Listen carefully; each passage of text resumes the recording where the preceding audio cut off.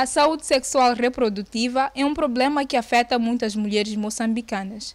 Várias organizações têm trabalhado para travar este mal, mas são poucas as que trabalham com deficientes. A Modefa e a Coalizão são exemplo disso.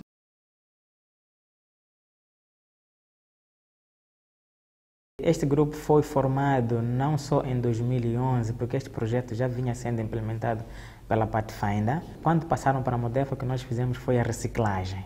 Temos ativistas, portadores de deficiência, que fazem atividades de sensibilização junto das outras, dos outros jovens. O trabalho de sensibilização para deficientes parou. As ONGs estão sem recursos para dar continuidade. Elas têm o direito à saúde sexual reprodutiva, têm direito a falar sobre a sua vida sexual.